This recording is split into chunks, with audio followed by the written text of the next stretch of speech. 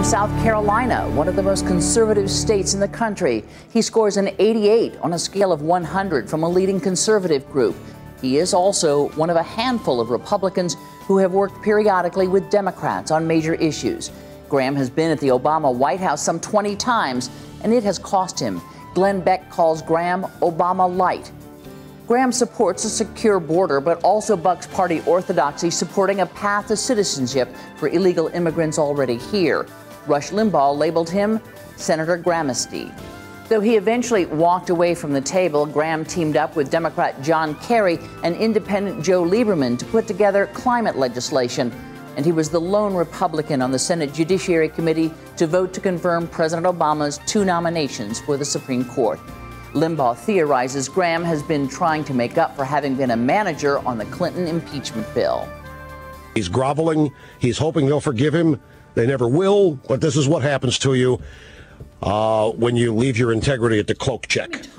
The ruling on the Arizona law, does that speed up a possible federal, uh, uh some sort of bill that deals Could. with immigration, or does it slow it down? Let me tell you what the Arizona debate has done is, is re-energized interest about fixing immigration.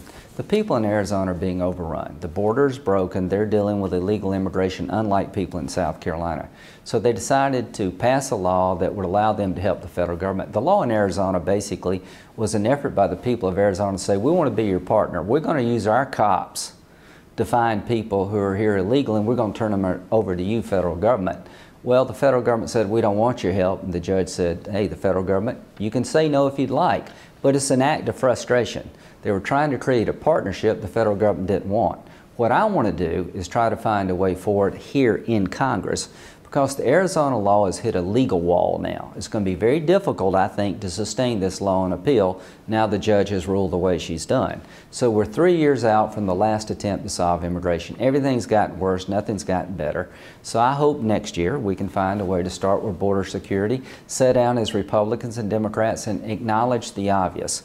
We need a temporary worker program because people come here to get jobs. The American people are looking for a solution that makes sense. Let's secure the border. I'm willing, Candy, to have every American take their Social Security card and turn it into a biometric document. Put your uh, ID on there, a fingerprint. So when you go get a job or I go get a job, we can so, uh, present a Social Security card to our employer and they can verify we are who we say we are. If we all agreed to do that as a people, you wouldn't have to look at somebody based on their their accent or their background, you would have a document that's trustworthy and verifiable. I can get you a fake Social Security card by midnight. I'm willing to do the hard things. I'm willing to push my party. But at the end of the day, the Democratic Party has to be willing to push their base. And to the American people, immigration is broken and will never be fixed until we change our laws. Our laws are broken. If you want to fix immigration, allow Republicans and Democrats to get in a room and do some good old fashioned horse trading to, to get this thing fixed. If we keep yelling at each other, if we keep just saying no to each other's idea, we're going to have one thing in common. We're going nowhere together. Senator Lindsey Graham, thank you so much for joining us.